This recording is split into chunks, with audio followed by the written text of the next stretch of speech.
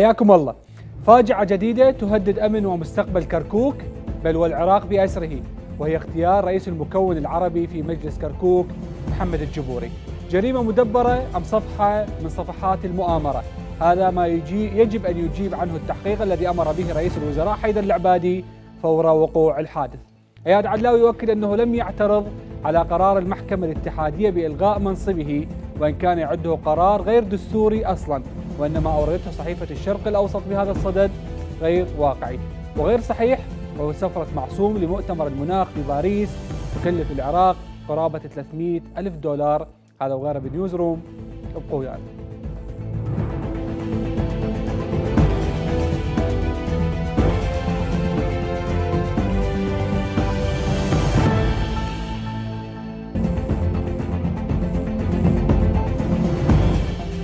الشجب والاستنكار يعم العراق ضد جريمة اغتيال رئيس الكتلة العربية في مجلس كركوك محمد الجبوري.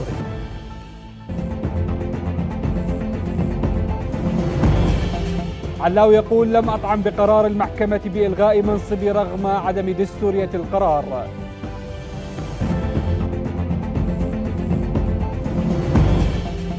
رغم تقشف الموازنة وفد العراق في مؤتمر باريس للمناخ 80 شخصا بكلفة 265 ألف دولار.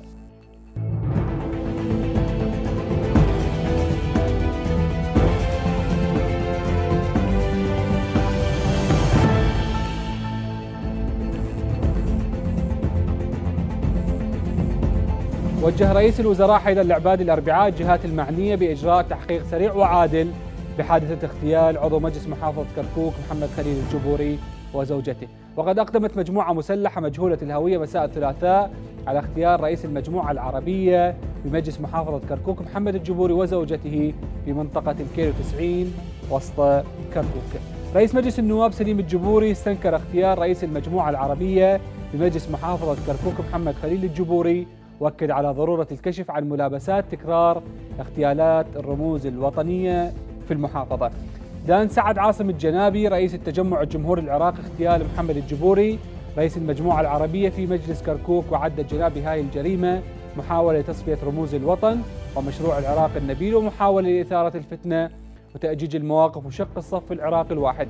الجنابي طالب بإجراء تحقيق عاجل وإيقاع أشد العقوبات بالجنات دان النائب عن تحالف القوى العراقية محمد تميم عملية اختيار رئيس المجموعة العربية محمد جبوري في مجلس كركوك من قبل مسلحين مجهولين. واصفا العملية بأنها رسالة تهديد للقوى السياسية المتواجدة في المحافظة. لم يلبث مساء الأول من شهر ديسمبر حتى قامت مجموعة مسلحة مجهولة خارجة على القانون باغتيال القيادي في التجمع الجمهوري العراقي محمد خليل الجبوري في إحدى مناطق محافظة كركوك. حادث الاغتيال هذا أثار موجة من الشجب والاستنكار لدى الأوساط السياسية عادين الحادث بأنه محاولة لإسكات الأصوات العالية التي تطالب بحقوق الشعب العراقي. لا يمكن وصف هذه الجريمة إلا بالنكراء جريمة بشعة جدا. آه، هي لا تستهدف فقط عراقية كركوك بقدر ما تستهدف أيضا كل الشخصيات الوطنية كل الشخصيات العروبية كل الشخصيات التي آه، تعاملت مع قضية كركوك على أساس أنها مفتاح الوحدة الوطنية للعراق ككل ولذلك تكتسب هذه الجريمة عمقها الغادر من خلال استهداف أحد الشخصيات وأحد قادة هذا التوجه آه، الشهيد أبو رحاب آه، عمل بكل ما أوتي من قوة خلال كل السنوات الماضية من أجل أن يرسخ مفهوم عراقية كركوك ومن أجل أن أن أن يحافظ على الهوية الوطنية لكركوك ولذلك أنه دفع حياته ثمن لهذا التصور ولهذا المفهوم ولهذه الثقافة التي حاول أن يركزها ويشاع على مستوى ليس كركوك فقط وإنما على مستوى العراق ومواقفه معروفة في هذا الاتجاه. الشارع العراقي هو الآخر. أدان حادثة اغتيال الجبوري واصفا إياها بأنها محاولة يائسة في إحداث انقسام داخلي في محافظة كركوك. مطالبين الجهات المعنية بمحاسبة المتورطين في هذه الجريمة بأشد العقوبات. طبعا من المؤسف عندما نسمع هنا وهناك حالات اغتيال لشخصيات هي طالما يكون لها صوت. هذه آه، الأمر يكون من قبل الحكومة. يجب اليوم من قبل الحكومة أن تتخذ الإجراءات. اللازم أن تتخذ الخطوات. آه، تكثيف الجهد الأمني للحد من هذه الاغتيالات. اليوم نلاحظ اليوم هناك الاغتيالات تطال شخصيات بسبب الخلافات السياسية ربما بسبب تصاعد حدة آه، التصريحات فيما بينهم. اليوم على الكتل السياسية أن تكون جادة في مواقفها أن تستقبل الرأي والرأي الآخر فيما بينهم آه، خدمة للصالح العام خدمة للعراق الجريح. اليوم العراق يمر بعدة أزمات. اليوم الإرهاب يهدد العالم بأسره يهدد العراق. يجب أن تكون هناك وحدة آه، وحدة الصف آه، ستساعد في القضاء على الإرهاب ستساعد على الوحدة الوطنية آه، ولم الشمل العراقي فيما بينهم. لذلك اليوم على الحكومة العراقية إذا كان هناك متورطين في هذه الاغتيالات يجب الكشف يجب المحاسبة على القضاء العراقي. أخذ الدور الفاعل في هذه القضية. نأمل اليوم من الحكومة العراقية أن تتخذ الخطوات الجادة لحل هذا الأمر الخطير الذي ينذر بمخاطر كبيرة في الشارع العراقي. وكان للشهيد محمد خليل الجبوري مواقف وطنية مشهودة في الدفاع عن حقوق العرب والتصدي للعديد من المواقف الوطنية ومنها عراقية كركوك ومنع انضمامها إلى أي جهة كونها من حصة العراقيين جميعا.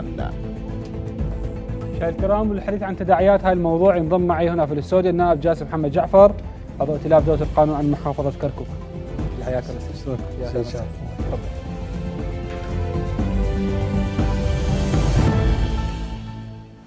منو؟ سنتحدث ويا شخص هو أصلا من محافظة كركوك بعيدا عن كل هاي المسميات وتعرف الأجواء وتعرف الأرضية وتعرف الخلفيات على كل اللي يصير. من اللي يقف وراء اغتيال الجبوري؟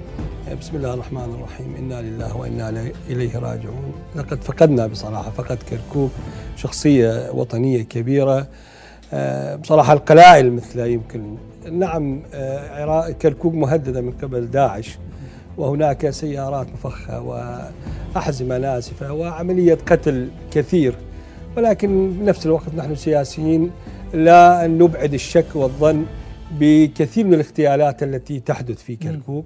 آه، يمكن أن تكون هذه الاغتيالات نوعا ما موجهة لمكونين دون مكون ثالث. آه، لو تنظر ليس آه، الشهيد محمد خليل أول شهيد.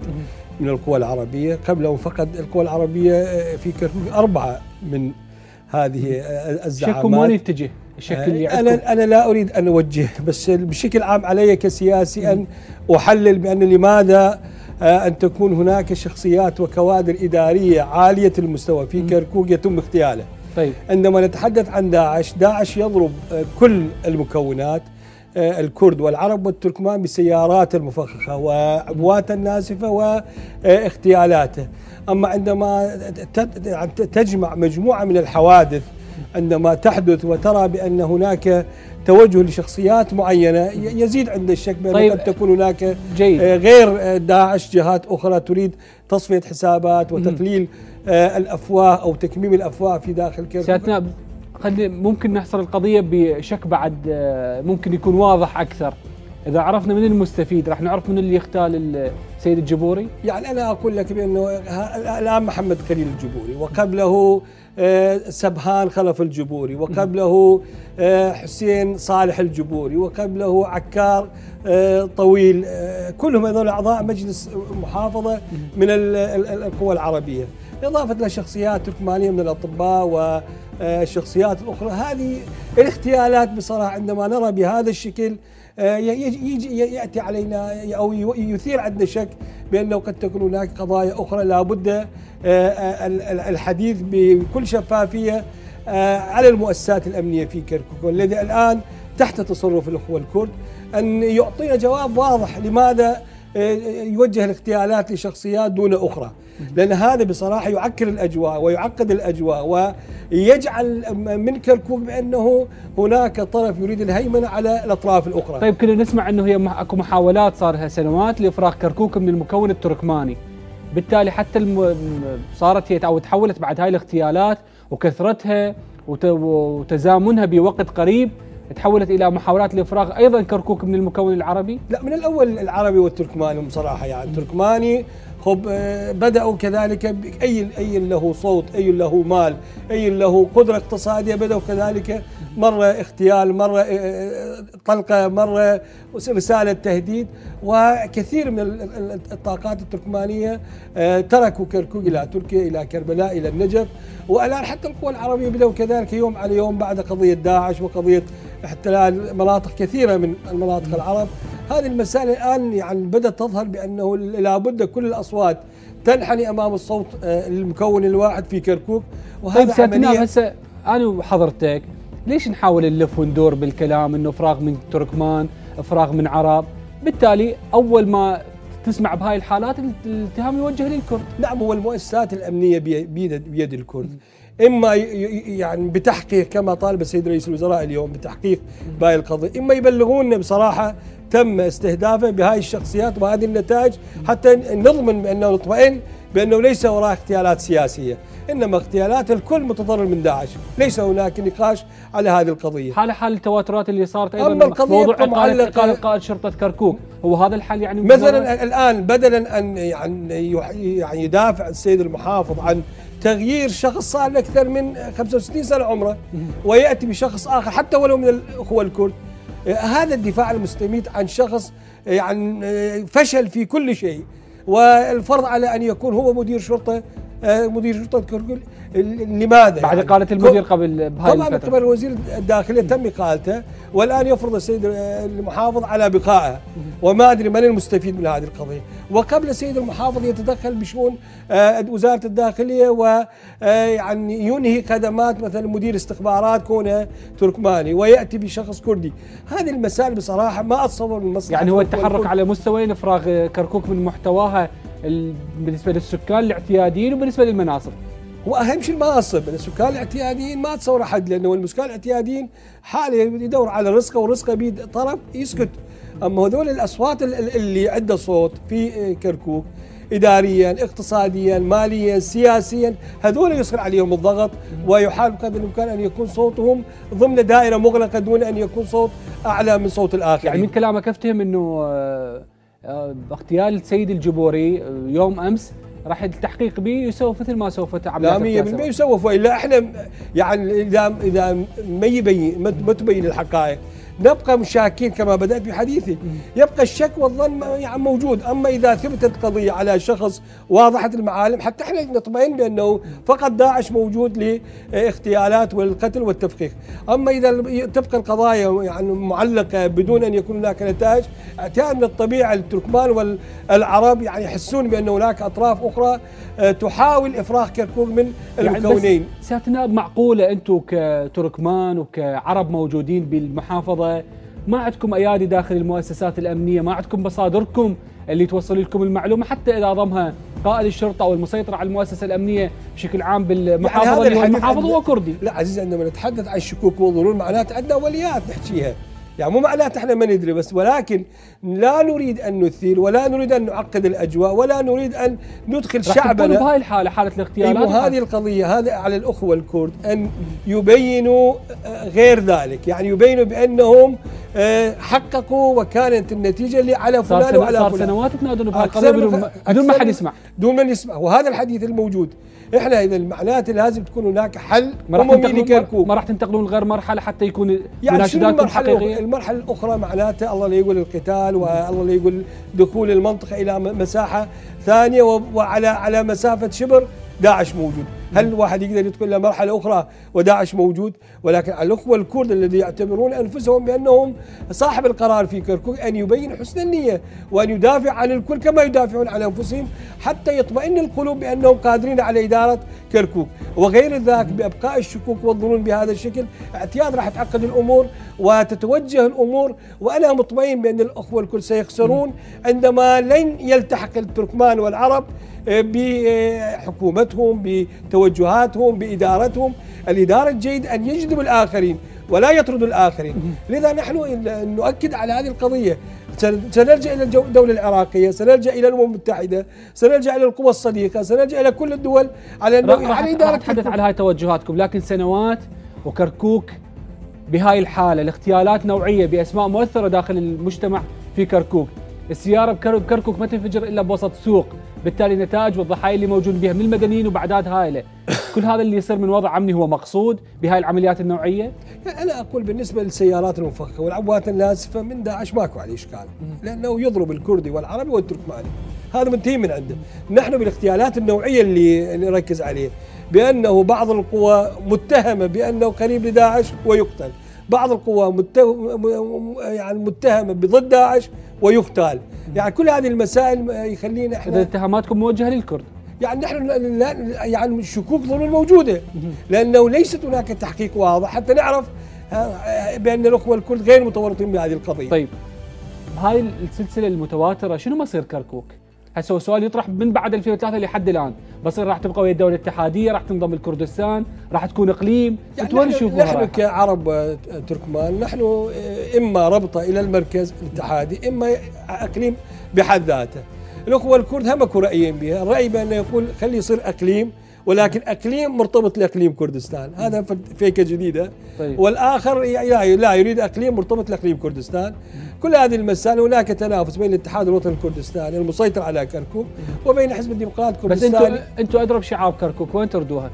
نحن نريد إلى بغداد أو أقليم بحد ذاته تدار بالتعايش السلمي بمشروع اللي طرحها السيد آه، رئيس الجمهورية امام جلال في وقته بحاله آه، التوافق الموجود 32 32 32 وأربعة للمسيحيين. يعني المكونات الثلاثة وتدار كركوك بالتساوي لتوزيع المناصب وبهذا الشكل. خلاص ممكن تكون الخلاص بتطبيق المادة 140 عشان لا دمار بالعكس. هو اولا المادة انتهت وتطبيق المادة معناته انهاء كركوك هي انتخابات ممكن التصويت يكون هو مع ضد وحتى الإنتخابات. يعني انتخابات الآن كيف أنا أقوم بانتخابات أكثر من 500 600 ألف نفر دخلوا إلى كركوك الآن الكفة واضحه الكفة واضحة الاخوه الكرد ما يحتاج. يعني الانتخابات الأخيرة آه، من 12 ثمانيه الاخوه الكرد وأربعة يعني اثنين تركمان اثنين عرب. واضح بأنه التركمان والعرب صاروا اقليه بسبب هذه المسائل بسبب التقويم. يعني ما نتحدث عن مخاوف عندكم من تغيير ديموغرافي بالفعل هناك صار هذا التغيير صار هذا التغيير يعني إحنا لا طبعا ما إحنا ما مستسلمين ونطالب 58 أو 58 واعاده النظر في كل الذين دخلوا إلى كركوك ونطالب الأمم المتحدة والجهات الدولية على أن يكون يعني ساعي سعي حثيث على أن تبقى الحياة أو التعايش السلمي في كركوك بشكل جيد ولكن الوضع الوقت الحاضر يعني أي انتخابات لن تكون من صالح التركمان والعرب. المناطق اللي كان متنازع عليها منازع المناطق المختلطة بالتالي هي صارت بفعل واقع منضمه إلى إقليم كردستان بمنطق وضع اليد؟ هسه ما هسه مثلا طوز وكركوك ما منضم إلى إقليم كردستان ولكن أمر واقع البيشمركة إقليم، شرطة إقليم، أسايش الإقليم هو اللي يعني مسيطر عليه بصراحة. طيب بسؤال أخير هسه إحنا تحدثنا عن إنه هذا التغيير والانتخابات اللي اللي صارت شنو هوية كركوك الحالية؟ كردية حاليا إيه؟ كردية. ما ماكو ماكو عليه نقاش. ولكن أمر واقع وفرض على الآخرين. هذا يبقى إلى متى وأي لحظة تنفجر وتكون النتائج بصراحة يعني مرعبة. ها هو هذا هذا التسلسل اللي صار بهاي القضية. بالتالي هسه ماني صارت صعبة علي. هسه المشاهدة بنتصور نفس الحالة. نتحدث نائب شخصية تركمانية من كركوك. كركوك هاي السنوات كلها هي هويتها الأساسية رغم ما هي يسموها مدينة التعايش لكن هويتها تركمانيه نعم. هذا الواقع. يتحدث يقول الكردية اذا التركمان لا ناقة ولا جمل، العرب لا ناقة ولا جمل، انت تحكي لي مرة أمنياتنا، مرة أتحدث لك عن الموجود. الموجود حاليا الكل مسيطرين على كل شيء والانتخابات الأخيرة خير دليل. كما قلت 8 2 2 طيب. يعني معناته شنو؟ صاروا 10 أو 20 20 60 هالشكل نعتبرها. اذا معناته حتى المناطق الآن أكثر من 60 قرية الآن تم تحريرها من داعش من من المناطق العربية. هم الأخوة العرب ولهذا تحدثت عن منطقة وضع اليد. نعم في آخر لقاء مع السيد رئيس الوزراء كان الشهيد حاضر ويانا في الاجتماع. يعني تحدثوا بين 63 قرية الآن تم جرفها من قبل الاخوه الكرد والان الان تدار عليها بان ان ان تتغير جغرافيا في المستقبل طيب. هذه المسائل كلها بصراحة آلام نتحدثها ولكن يبقى الشعب التركماني والشعب العربي يريد ان تعود كركوك آه، مدينة مدينة التعايش وتدار بأمن وأمان وبكل القوة دون هيمنة دون فرض أكيد. واقع. أكيد. ولكن الواقع شيء والحديث شيء أمنية مشتركة. اسمح لي أن أشكرك النائب جاسم محمد جعفر عضو ائتلاف دولة القانون عن محافظة كركوك. أهلا بك شكرا جزيلا.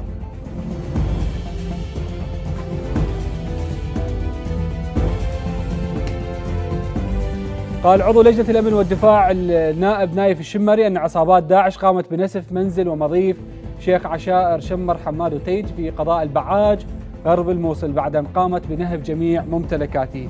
وينضم الآن عبر الهاتف النائب عن الموصل نايف الشمري عضو لجنة الأمن والدفاع كما قلنا مساء الخير سيد نايف. مساء النور.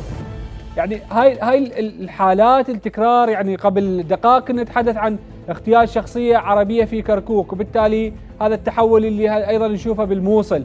ما أعرف هي قضية ممكن نسميها مترابطة بالنسبة لصاح صار اللي لمضيف منزل الشيخ شمر. أه، بسم الله الرحمن الرحيم. تحياتي لك ولكل مشاهدي قناة الرشيد. حياك الله. أه، مساء أمس أقدمت أه، أقدم تنظيم داعش الإرهابي على استهداف منزل ومضيف الشيخ حماد اوتيد أحد شيوخ عشائر شمر. وتم نسف المنزل والمضيف وهذا آه، خامس وعشرون بيت من أبناء عشيرة شمر من شيوخ ووجهاء شمر تم استهداف منازلهم وكذلك استهداف منازل من شيوخ عشائر الجبور في محافظة نينوى. لكن آه، ما لاحظناه كذلك استهداف أحد الرموز الوطنية في محافظة كركوك آه، الشهيد محمد خليل الجبوري رئيس الكتلة العربية. أعتقد أن تنظيم داعش الإرهابي يعمل على إثارة الفتنة بين المكونات ولعب هذا الدور القذر سابقا في محافظة نينوى حيث أحدث آه، شرخ كبير في مكونات محافظة نينوى. نطلب من جميع أخواننا في محافظة كركوك والحفاظ على التعايش السلمي وأن لا ينجرفوا إلى إثارة الفتنة التي يلعب عليها تنظيم داعش الإرهابي لأنه يلعب على وتر الطائفية مرة ومرة ثانية يلعب على القومية. شلون تقرون هاي الرسائل سيد نايف إذا سمحت لي. شيوخ ووجهاء سيد آه، نايف. عشائر آه، محافظة نينوى. سيد نايف بس إذا سمحت لي؟ شنو شنو الرسائل اللي تقروها؟ حماد وتيد تم إعدام هادي ساير وتيد وتم إعدام شيوخ الجبور من بيت الوقاع. فأعتقد أن تكون هناك وقفة جادة من قبل الحكومة العراقية بتشكيل لجنة تحقيقية مستقلة لكشف الحقائق حول اغتيال آه، الشهيد محمد خليل الجبوري لأن قبل فترة تم اغتيال آه، السيد حسين محمد صالح أبو صدام وكذلك سامي العاصي. فيجب أن تكشف الحقائق حتى يطمئن جميع أبناء محافظة كركوك طيب سيد نايف بس إذا إذا كنت تسمعني وتسمح لي هسه تطالبون بلجان تحقيقية وهذا اللي دعا إلى رئيس الوزراء أو كلا أو أمر به. يعني شلون راح تضمن إنه النتائج راح تكون واقعية وتعلن ويعاقب الجنات؟ أنا أعتقد لجنة تحقيقية مستقلة من من وزارة الداخلية من وزارة الداخلية ومن الحكومة الاتحادية تحديدا تذهب وتحقق بدقة وتستند على الوقائع الموجودة وتكشف الحقائق للشعب العراقي حتى نضمن التعايش السلمي في محافظة كركوك. طيب هو هذا ما أعرف أنا سألتك على الرسائل اللي ممكن تبعث بهاي القضية، شنو الرسائل ومنو المفروض يتلقاها ويتعامل وياها؟ أعتقد اليوم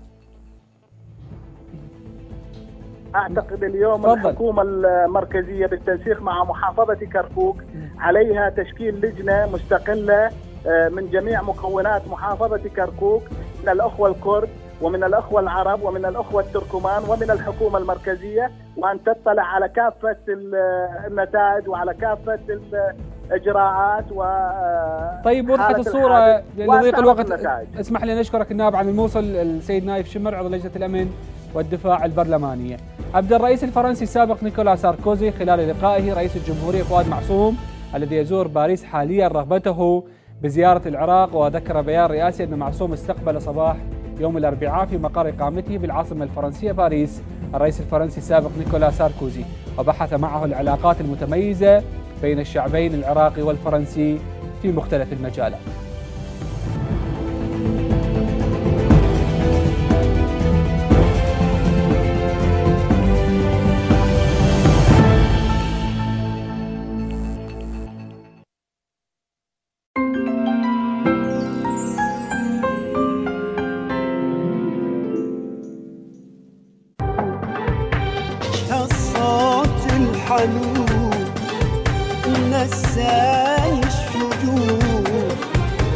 ومع اللي نحب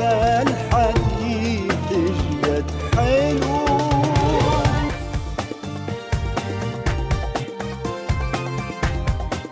آسيا سيل تجمعنا سوا.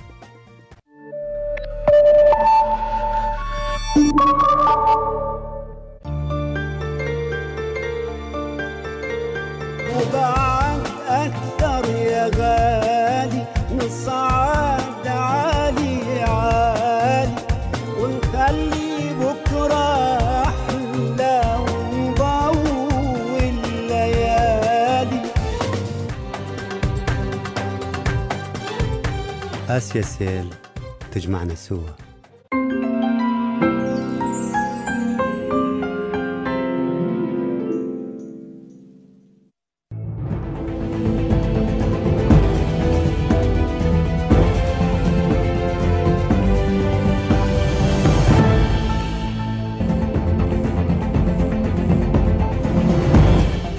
علاوي يقول لم أطعم بقرار الحكومة بإلغاء منصبي رغم عدم دستورية القرار.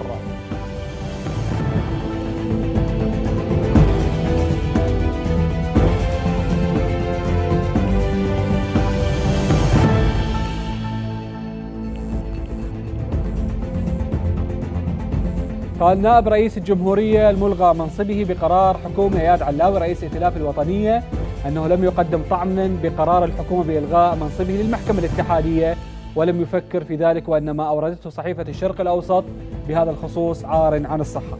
والحديث عن هذا الموضوع ينضم معنا في الاستوديو السيد ضياء المعين المتحدث باسم حركة الوفاق الوطني.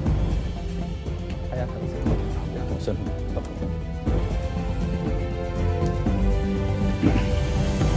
حياك الله سيد ضياء. اليوم هل ما أعرف هو شنو حقيقة الموضوع؟ كان أكو تحرك بسيط أو نية تقدم طعن بشكل صريح لم يقدم. ما أعرف. ال- الخبر اللي أوردته صحيفة الشرق الأوسط أحدث لغط بهذا الموضوع.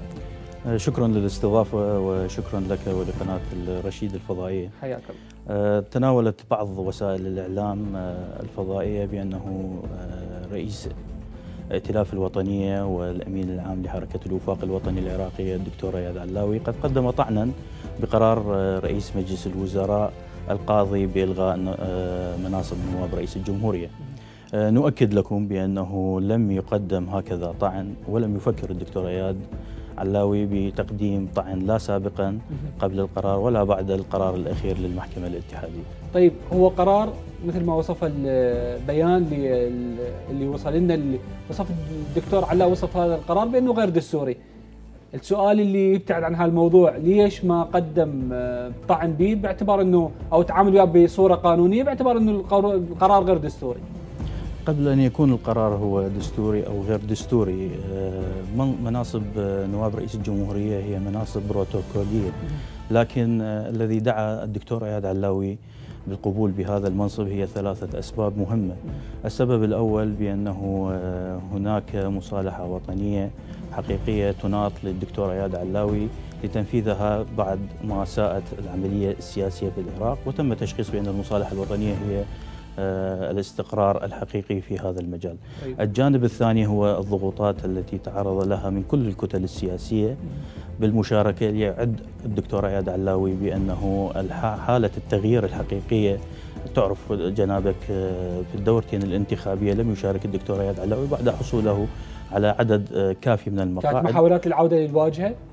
لكن الحكومة كانت ماخذة طابع بأنه طابع التغيير.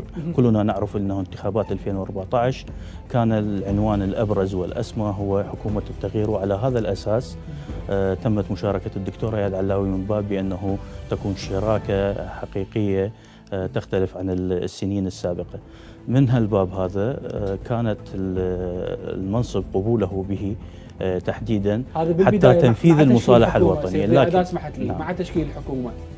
بعدين شنو اللي صارت القراءات بعد سنة وشهرين أو ثلاثة اشهر من تشكيل الحكومة؟ حتى في بداية تشكيل الحكومة إذا تسمح لي يعني دقيقة واحدة بس آه، بعد في آه، تشكيل الحكومة تعرف جنابك بأنه كان هناك آه، قرارات مجمل من عنده هو برنامج حكومي وافقت عليه كل الكتل السياسية وأصدره رئيس مجلس الوزراء وأعطى سقف زمنية لهذه القرارات منها بست أشهر منها بشهر منها بثلاثة أشهر للتنفيذ.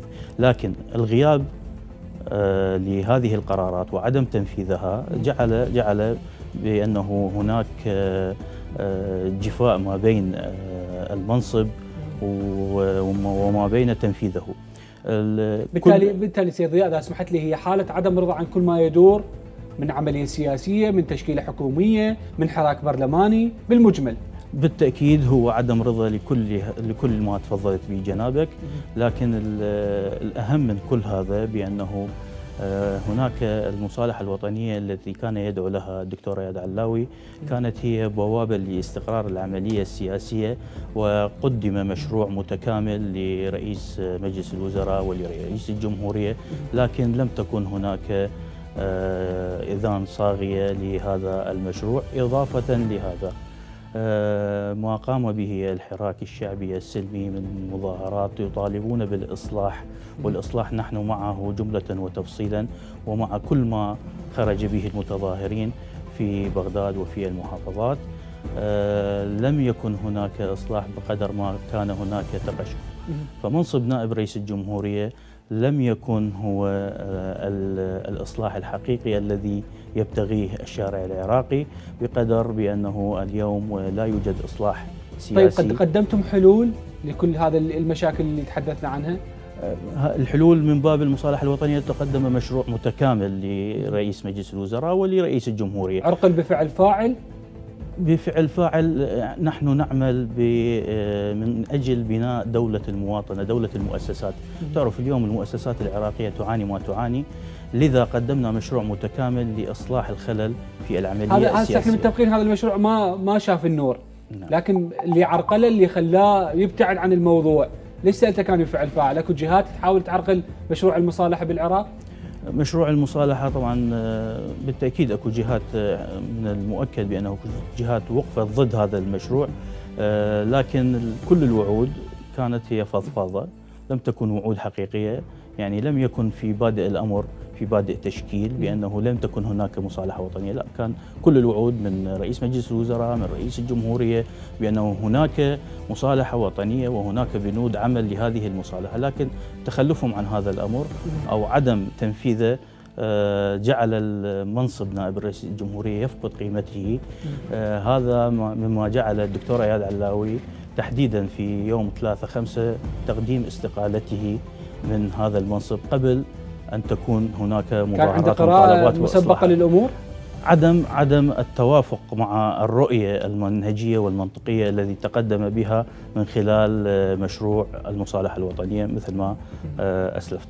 آه، إضافة إلى هن- ذلك هناك مشروع للقضاء على الفساد. وتعرف الدكتور اياد علاوي هو أول من حارب الفساد من في عام 2005 قدم ثلاث وزراء. للتحقيق وقامت من بعده آه، لم تكتمل هذه الإجراءات بحق الوزراء. ال- المهم في الموضوع آه، اليوم نحن مع الإصلاحات لكن الإصلاحات التي نداعي بها والتي يداعي بها الجماهير العراقية المنتفضة لم تكن في الجانب السياسي بعد مرور خمسة أشهر طيب. من الإصلاحات التي قدمت. لم تكن في الجانب السياسي هناك إصلاحات. لم تكن في الجانب الاقتصادي هناك إصلاحات. ولم تكن في الجانب الأمني هناك إصلاحات. هذا مما يجعلنا بأن يكون هذا المنصب هو بعيد عن آه، تقديم الطعن إن كان دستوريا أو غير دستوريا. أما من باب أنه هو دستوري أو مو دستوري فهناك مادة قانونية هي المادة 66 بالدستور. طيب. ت- تقول بأنه هناك نائب أو أكثر. أنا أتساءل هل هذه المادة عدلت أم ألغيت؟ اليوم نحن بحاجة إلى احترام الدستور رغم تحفظنا على جزء من عنده لكن لا لابد أن نحترم المواد الدستورية طيب الموجودة أكيد راح يكون لنا حديث أكثر في الأيام المقبله اسمح لي نشكرك السيد ضياء المعيني شكراً. شكراً. جزيلاً يا محمد. الله. شكرا جزيلا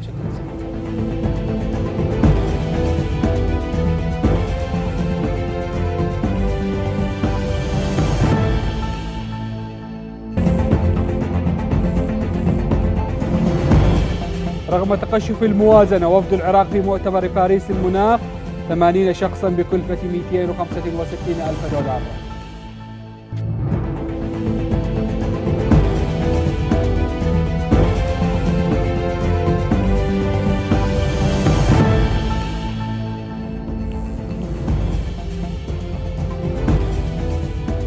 أفادت مصادر محلية أن رئيس الجمهورية فؤاد معصوم اصطحب معه 80 شخصية بضمنهم وزير الخارجية إبراهيم الجعفري لمؤتمر المناخ في باريس. وقال نائب عن التحالف الوطني أن رئيس الجمهورية فؤاد معصوم كان يجب أن يكون مثالا للمواطن والمسؤول وليس رمزا للإسراف والتبذير. على حد قوله. وذكر محمد كون في بيان له أن مشاركة وفد العراق في قمة المناخ برئاسة معصوم كلف العراق 265 ألف دولار رغم أن المؤتمر لا يشكل ضرورة ملحة للعراق وتجدر الإشارة إلى أن مصادر مطلعة قالت أنه كان يمكن الاكتفاء بأربعة أشخاص فقط. الحديث عن التأثيرات الاقتصادية والأرقام التي طرحت من خلال هذا المؤتمر والمبالغ اسمحوا لي أن أرحب بضيفنا في الاستوديو النائب حارث الحارثي نائب رئيس لجنة الاقتصاد والاستثمار البرلماني. حياك أهلا أهلا حياك حياك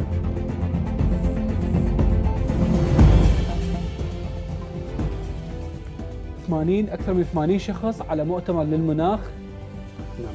باريس يعني ما أعرف رقم فوق المبالغ به.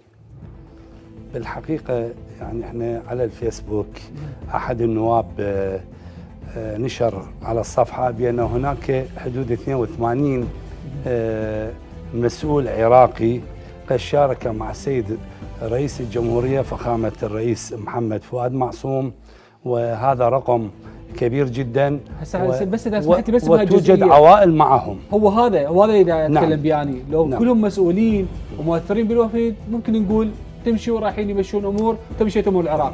لكن أصبحت مثل ما قلت إنه الحديث عن عوائل عن شخصيات ما ممكن أن تكون مؤثرة بمثل هذا المؤتمر. نعم. وكذلك آه، آه، آه، كانت مشاركتنا مجرد استماع. يعني كانت الدعوة مجرد أن يكون مستمعين بهذا الشكل يجب أن يكون وضع العراق وعدم استقبال السيد رئيس الجمهورية استقباله من قبل رئيس جمهورية فرنسا ماذا يعني؟ هل يعني أنه عدم اعترافنا كدولة؟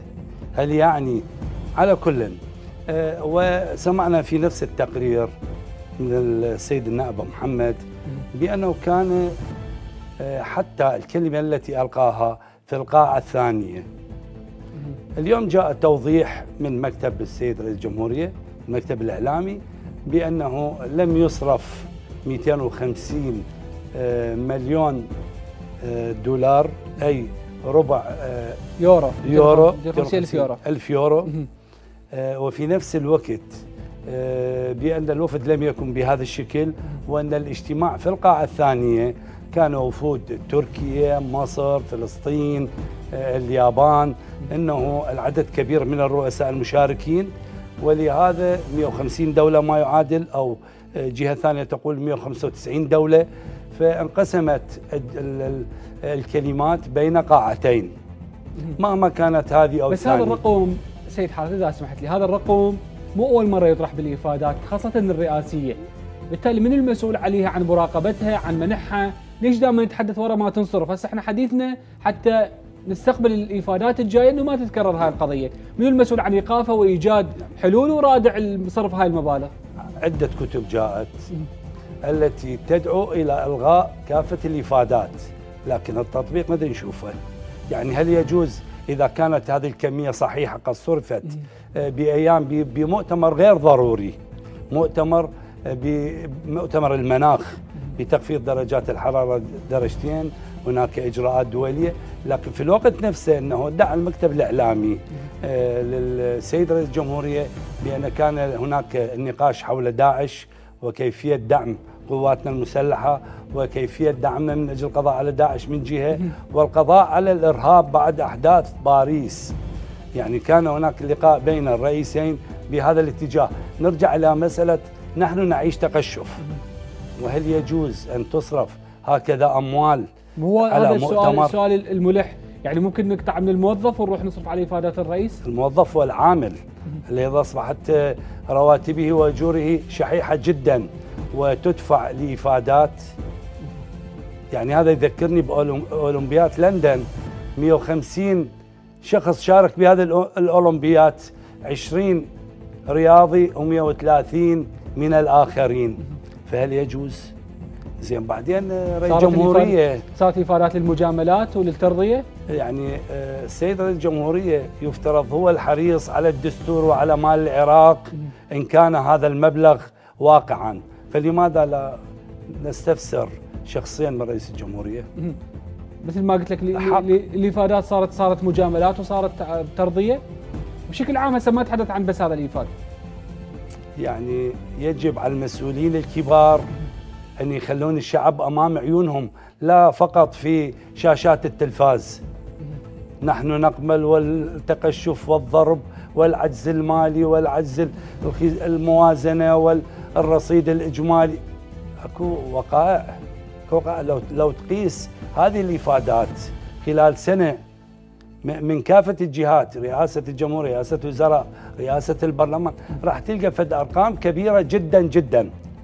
منو المسؤول عنها؟ بس هسه وزير أنا- المالية المسؤول؟ أنا أنا أنا بدي اسال السؤال. لا لا أنا أسألك. اسألني. أنتوا أنتوا دوركم رقابي رحت أنا أسألك أنا كمواطن هسه أسألك أنتوا دوركم رقابي أنتوا تراقبون وتحاسبون بهاي القضية. يعني هل تعتقد إن اللجنة المالية في مجلس النواب ستسكت عن هذا الموضوع؟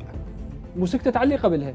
يعني لربما في ظرف ما قبل قبل التقشف وقبل كانت أموال آه، كبيرة وتهدر وتذهب وتأتي لا يهم. لكن اليوم نحن في في عجز مالي.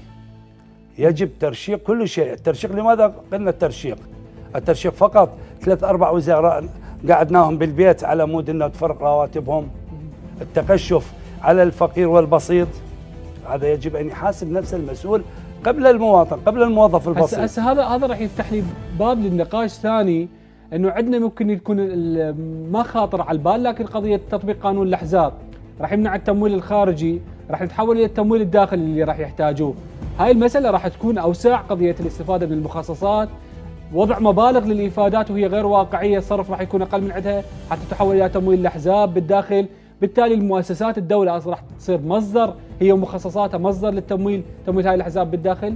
والجهات اللي مسؤولة عن هاي المؤسسات. في فد مشكلة مشكلة لو كل من يخلي الله بين عيونه وينظر بشعبه بضمير ما تصير عندنا هاي الهفتات.